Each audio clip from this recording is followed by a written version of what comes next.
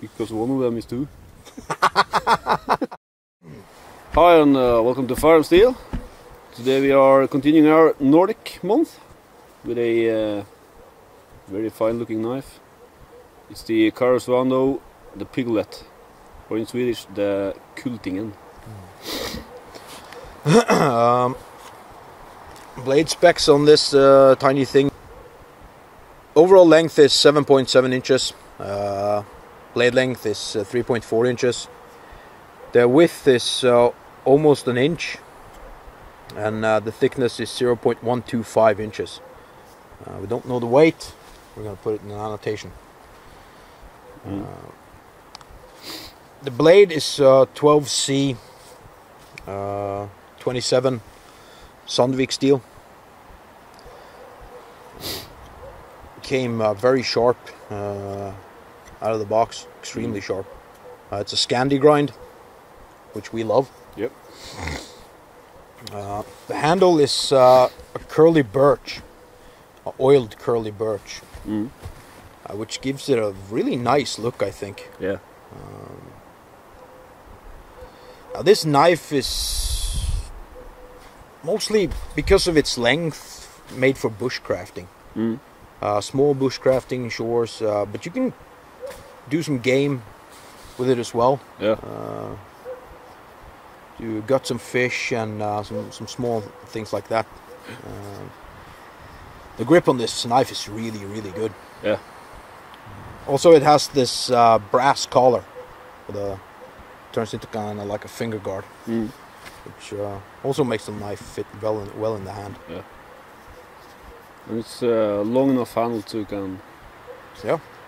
You have some different grip options. Yeah, actually, which was surprising on such a small knife. Mm. Um, now the sheath, uh, the sheath is uh, cowhide leather sheath uh, with a plastic insert. Uh, it has some. Uh, I think this actually is reindeer skin. Yeah. Reindeer hide. Mm. It's uh, very sturdy, very thick. Uh, smells nice. Uh, there's not too much to say about these. There's a weep hole. Uh, other than that, it's a very well built sheath. Mm. Again, I think this makes it look nicer. Yeah. It's a nice detail. Yeah, it is, but they could have put something else on it. Yeah, just like the Hella seal stand. Yeah, uh, definitely. Uh, just a small detail. Mm. burnt in on the sheath or uh, something like that. But uh, yeah, belt loop, just a normal size belt loop, not too big, but uh, it's pretty much made for these leather belts, I think, not Mm. military belts.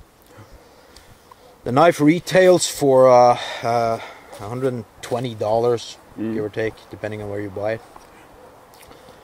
Uh, they have a 10 year warranty if the uh, blade breaks, which is nice. Mm. And um, yeah, I'm gonna do some info about about Karesuando knives, just a small thing. Uh, the name comes from uh, uh, which is uh, Sweden's most Nordic village or town. Uh, there are ten people working at that company. Uh, they're all hunters or Sami, uh, Finnish and Swedish, uh, because it's a border town to Finland. Uh, all their materials in their knives are from up there. Mm. Uh, reindeer antler, reindeer bone, cowhide, uh, the birch is from up there, and even the steel is from Kiruna, which is very close. Uh, the only steel they have in their blades are Damascus steel. That doesn't come from there. It goes from Damasteel down Mm. in Stockholm. So yeah, they um they make knives the way I like it. They Yeah. keep it, the old traditions in knife making. Old school. Yeah. Which is uh, very nice. Mm. I love the way this knife feels in the hands. Yeah. Hard to describe, but it's very grippy. Feels very good. Mm. So would you recommend it? Absolutely. Hundred and twenty dollars. It's worth it. Yeah. I mean, we batoned with it. Mm. We did batoning. We did stuff that you're not really supposed to do with such a small knife, and it held up very good. Yeah. Um, the 12C steel is uh, it's a great steel. Yep. Did you find something? Well, it does have a almost looks like a chisel grain. Yeah. tip. Yeah, it is a. Is it a drop point or a clip point? It's a drop point.